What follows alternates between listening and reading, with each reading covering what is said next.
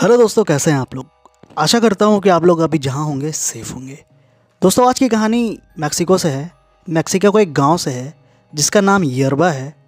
वहाँ पे एक लड़की जाती है मैकडेलना सॉलिस के नाम की, और उस गाँव में जाते ही ये लड़की उस गाँव में पूरा कत्लेआम मचा देती है।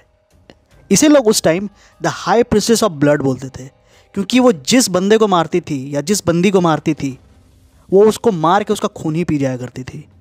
ये घटना 1962 की है।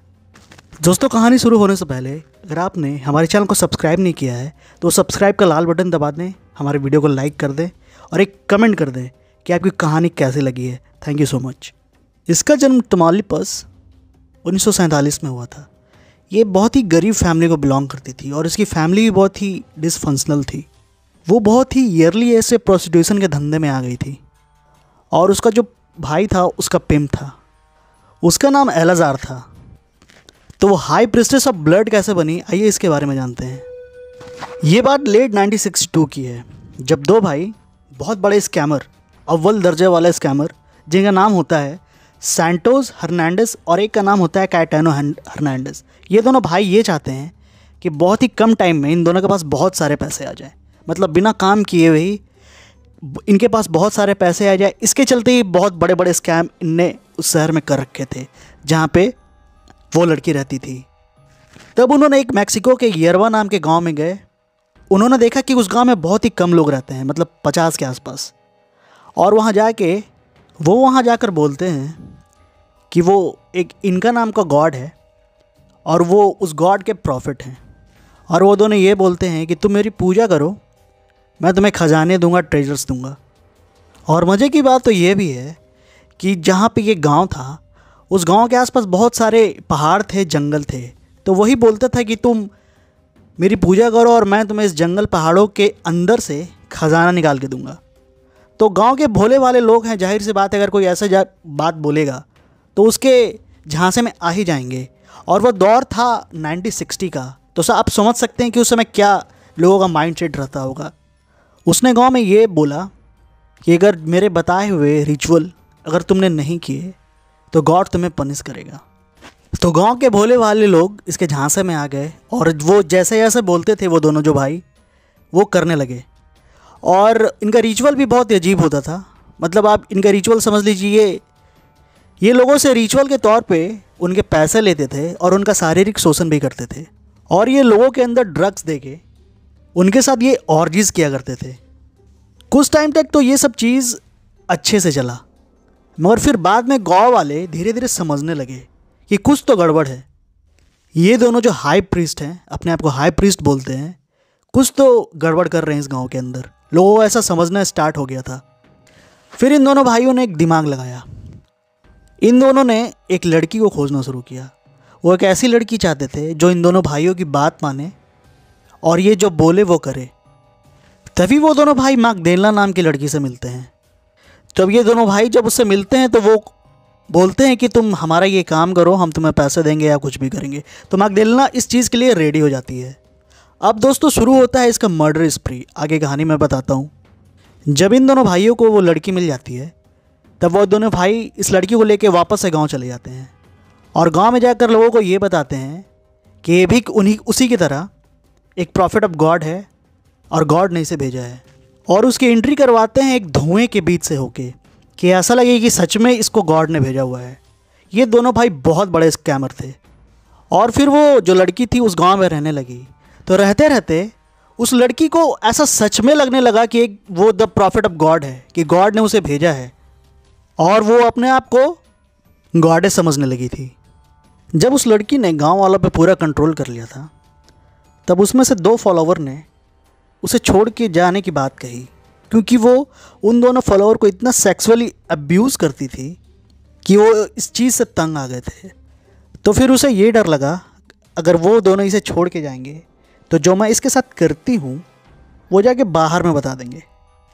तो फिर उसने गाँव वालों को इन दो फॉलोअर्स के बारे में बताया और बोला कि ये दोनों अनहोली हो गए हैं मतलब कि अपवित्र हो गए हैं। तो ये गाँव वालों से बोलती है कि इन दोनों को मार दो। और गाँव वाले एग्जैक्टली बिल्कुल ऐसा ही करते हैं।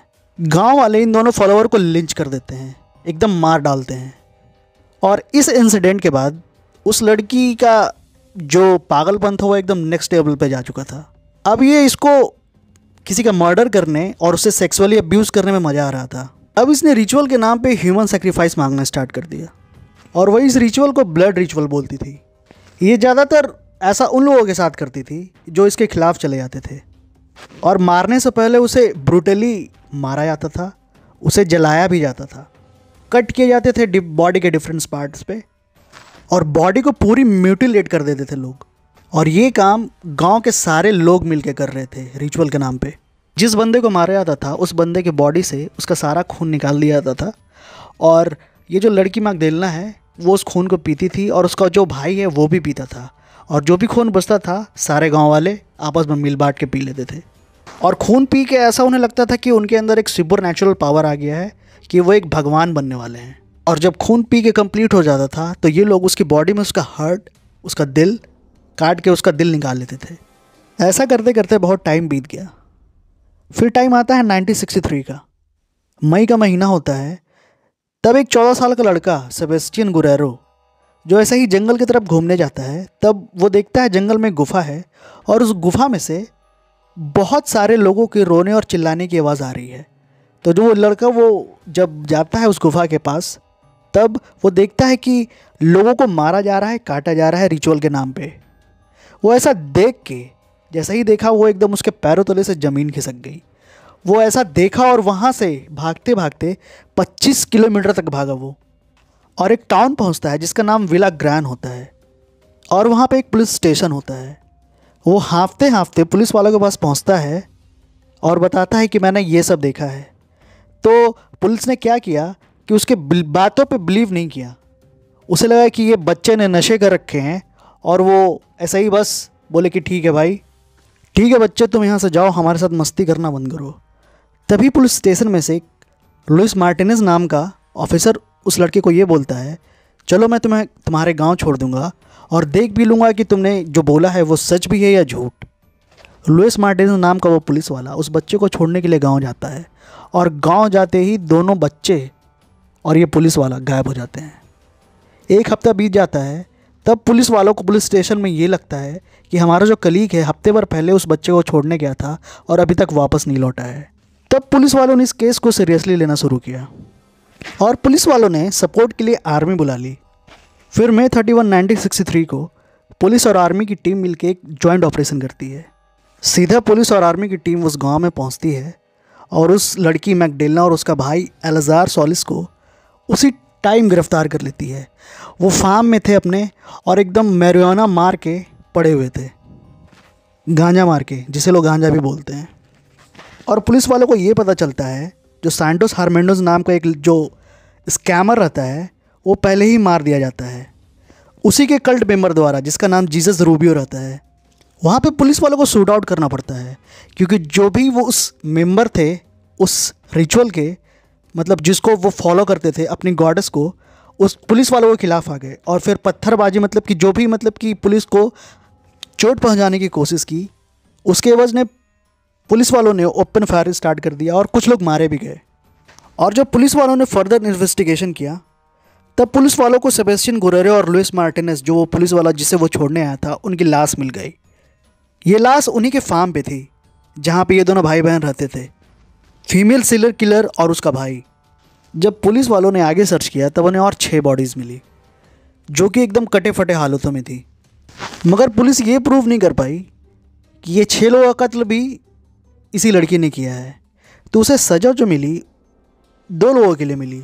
सेबेस्टियन गुरेरो वो जो बच्चा था और वो जो पुलिस वाला लुइस मार्टिन उसके लिए। तो दोस्तों, आज की यही कहानी थी। आशा करता हूँ आपको ये कहानी अच्छी लगी होगी। अगर अच्छी लगी हो तो इस वीडियो को एक लाइक कर दे, चैनल को सब्सक्राइब कर ले और बस सेफ़ रहें। बाय